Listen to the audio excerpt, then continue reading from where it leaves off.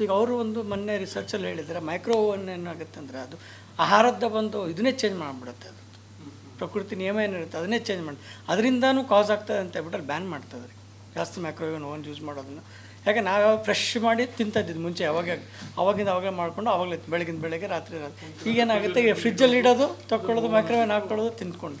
ಅದು ಕಾಮನ್ ಆಗಿಬಿಟ್ಟೆ. ಇವತ್ತೊಬ್ಬ ಬಂದಿದ್ದ ಟೊಯೋಟೋದಿಂದ ಅವರು ದೊಡ್ಡ ಪೋಸ್ಟಲ್ಲಿದ್ದಾರೆ ಅವ್ರಿಗೆ ಟಂಗ್ ಕ್ಯಾನ್ಸರ್ ಅವ್ರು ಅದು ಸೇಮ್ ಕ್ವಶನ್ ಸರ್, ನಾನು ಒಂದೊಂದೂ ಚಟ ಮಾಡಿಲ್ಲ ನನಗೆ. ಏನೂ ಮಾಡಿಲ್ಲ, ನನಗೆ ಯಾಕೆ ಬಂತು ಕ್ಯಾನ್ಸರ್ ಅಂತ ಅಂದ್ಬಿಟ್ಟು.